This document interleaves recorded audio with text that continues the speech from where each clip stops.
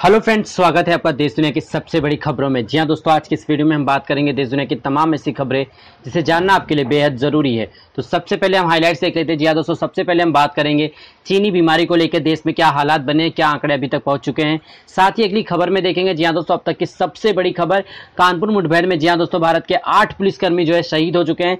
जानेंगे तमाम चीज़ों को विस्तार से एक एक करके इस वीडियो के अंदर। साथ ही दोस्तों, टिकटॉक पर ताला लगाकर पीएम ने दिया देशवासियों को चैलेंज जी हाँ दोस्तों, देश की युवाओं को जो है ऐप बनाने का चैलेंज दिया, जानेंगे तमाम चीज़ों को विस्तार से इस वीडियो के अंदर। साथ ही अगली खबर में देखेंगे जी हाँ दोस्तों 31 जुलाई तक सभी एयरलाइंस को बंद किया जाएगा। जी हाँ दोस्तों, अगर आप विदेश जाने की सोच रहे हैं तो 31 जुलाई तक आप लोग जो यहाँ दोस्तों नहीं जा सकते, क्योंकि सरकार ने जो 31 जुलाई तक विदेशी उड़ान पर जी हाँ दोस्तों प्रतिबंध लगा दिया। जानेंगे तमाम चीज़ों को विस्तार से एक एक करके तो आप इस वीडियो के साथ बने रहिएगा। साथ ही दोस्तों, हम आपको बताएँगे प्रधानमंत्री नरेंद्र मोदी द्वारा घोषणा की गई तीन नई योजनाओं के बारे में, जिसके अंतर्गत आपको मिलेगा पाँच पाँच हज़ार साथ ही दोस्तों, आपको राशन दिया जाएगा नवंबर महीने तक फ्री।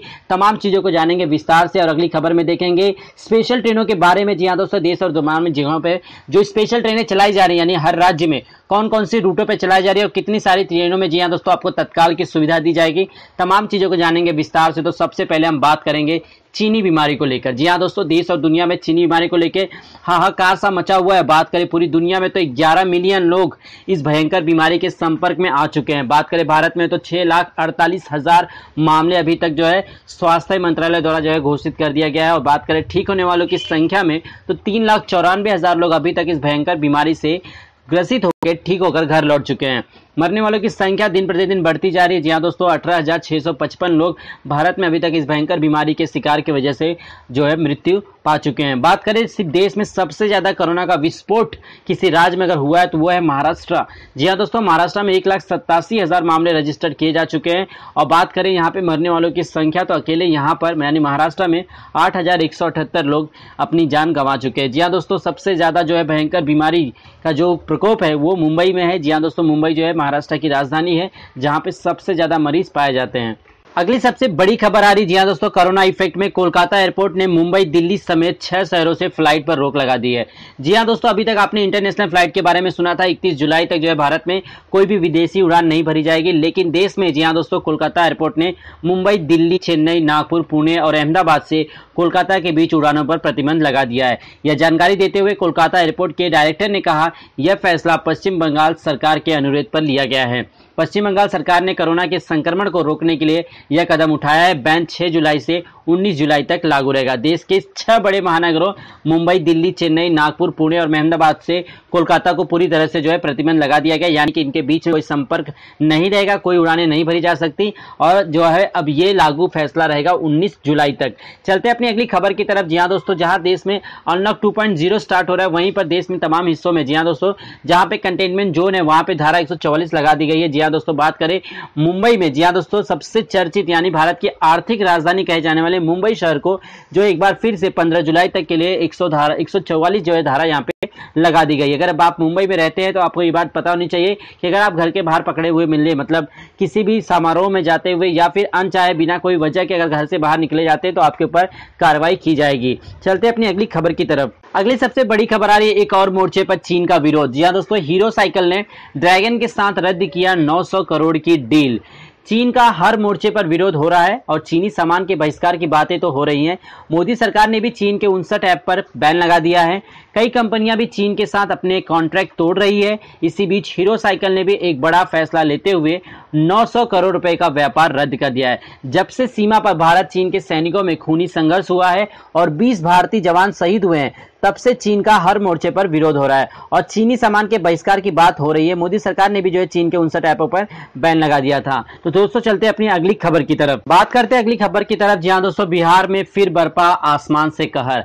आकाशीय बिजली से 22 लोगों की मौत। 24 घंटे के दौरान राज्य के अलग अलग सात जिलों में आकाशीय बिजली गिरने से 22 लोगों की मौत हो गई। आज मरने वालों में भोजपुर से सात, वैशाली में छः लसिकराय से दो, समस्तीपुर से तीन, गया, बांका, नालंदा और जमुई से एक एक व्यक्ति की मौत जो है इसमें शामिल है। मुख्यमंत्री ने कहा कि खराब मौसम में घर के अंदर ही रहे और सुरक्षित रहे। जी हाँ दोस्तों, इस समय देश में तमाम जगहों पर जी हाँ दोस्तों, दो दिन की जो है भारी अलर्ट दी गई है। मुंबई जैसे महानगरों में जो है बारिश की बहुत ही आशंका जताई जा रही है और पूरी तरह से, जी हाँ दोस्तों, दो दिन का जो है अलर्ट दिया गया है। तो अगर आप ये दो दिन सोच रहे हैं घरों से बाहर निकलने के लिए, अगर काम के सिलसिले से भी तो भी आप इस वीकेंड में, यानी शनिवार और रविवार अपने घरों में ही रहिए। तो चलते हम अपनी अगली खबर की तरफ़। प्रधानमंत्री मोदी ने एक नया ऐप बनाने के लिए जो है युवाओं को दिया है चैलेंज। या दोस्तों, चीन की हरकतों का जवाब देने के लिए भारत सरकार ने सिर्फ़ उनसठ ऐप को बंद ही नहीं किया, जबकि अपने मामले में, जी दोस्तों, आत्मनिर्भर बनने की योजना भी जो है आगे बढ़ा दी। प्रधानमंत्री मोदी ने शनिवार को ट्वीट करते कहा कि वह Aatmanirbhar Bharat app innovation challenge launch करने जा रहे हैं। मोदी जी ने कहा कि आज मेड इन इंडिया एप्स बनाने के लिए तकनीकी और स्टार्टअप समुदाय के बीच अपार उत्साह है। इसलिए जिनको भी, जी हाँ दोस्तों, इस चैलेंज में पार्टिसिपेट करना है, वो जो है प्रधानमंत्री नरेंद्र मोदी के जो है ट्वीट पर जाकर रिट्वीट कर सकते हैं। जी हाँ दोस्तों, ये चैलेंज शुरू कर दिया गया। उन्होंने ट्वीट करके कहा कि ऐप बनाने में भारत को जो है आत्मनिर्भर बनना है। गलवान घाटी में चीन के सैनिकों के साथ हिंसक झड़प के बाद से ही जो है भारत में चीन को लेकर, यानी कि चीन के सामान को लेकर बहिष्कार की जो है दिन प्रतिदिन और ज़्यादा आक्रोश देखने को मिल रहा है। चलते हैं हम अपनी अगली खबर की तरफ़। अगली सबसे बड़ी खबर आ रही उत्तर प्रदेश से। जी हाँ दोस्तों, कानपुर एनकाउंटर में जो है भारत के आठ पुलिस कर्मचारी जो है शहीद हो चुके हैं, जिसकी वजह से, जी हाँ दोस्तों देश में जो है बहुत ही दुख की लहर दौड़ रही है, जहाँ पर 20 सैनिक कुछ ही दिनों पहले जो चीन के बॉर्डर पे जो है मारे गए, उसी के बाद ये बहुत ही बड़ी घटना है, क्योंकि ये जो है, एक इनकाउंटर था जिसमें विकास दुबे नाम का अपराधी, जी हाँ दोस्तों, जिसने भारत के, जी हाँ दोस्तों, यानी उत्तर प्रदेश के आठ पुलिस कर्मचारियों को जो है हत्या कर दी। बात करें दोस्तों, सरकार ने जो है इसके ऊपर सख्ती से जो है पालन करने का आदेश दिया है, साथ ही मृतक जनों के परिवारों को एक एक करोड़ रुपए का मुआवजा के साथ साथ हर परिवार के एक सदस्य को सरकारी नौकरी देने का वचन जो है योगी आदित्यनाथ ने दिया है। बात करें विकास दुबे की जानकारी देने वाले को पचास हज़ार का इनाम भी सरकार ने रख दिया है। तो चलते हैं अपनी अगली खबर की तरफ़। अगली सबसे बड़ी खबर आ रही रेल मंत्रालय की तरफ़ से। जी हाँ दोस्तों, देश में इस समय सबसे ज़्यादा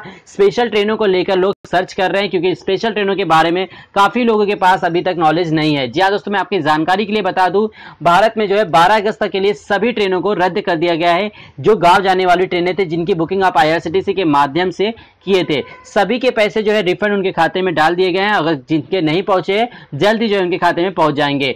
बात करें अब स्पेशल ट्रेनों के लिए तो सरकार ने जो है काफ़ी जगहों पर सफ़र करने के लिए देश के तमाम हिस्सों में जो प्रवासी मजदूर फंसे हुए उनको निकालने के लिए देश में जो है स्पेशल ट्रेनों को चलाने का जो है प्रथा जारी रखा है। जी हाँ दोस्तों, इसके अंतर्गत बारह ट्रेनों को चालू किया गया है, जिसके लिए देश के अन्य अन्य राज्यों में, जी हाँ दोस्तों अन्य अन्य हिस्सों में जाने के लिए आपको स्पेशल ट्रेनों की जो है बुकिंग करनी होगी। पाँच दिन पहले आपको बुकिंग करनी होती है।